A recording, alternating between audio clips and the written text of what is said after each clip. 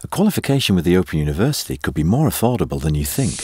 Whether you're self-funding or looking for funding support, we'll help you find what's right for you. Let's explore the options.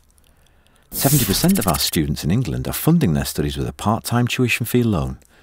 You can apply through Student Finance England and you won't need to pay anything back until you're earning over the threshold salary.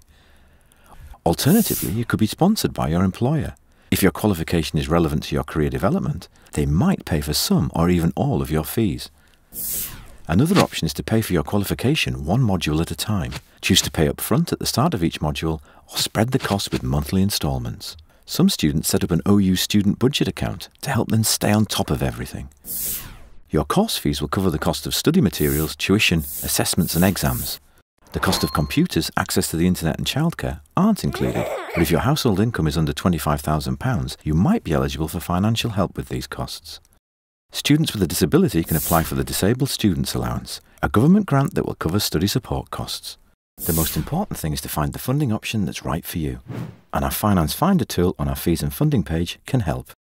Just enter openuniversity.co.uk forward slash funding for more information. Or give our friendly team a call on 0300 303 5303. We'd be happy to talk through your funding options.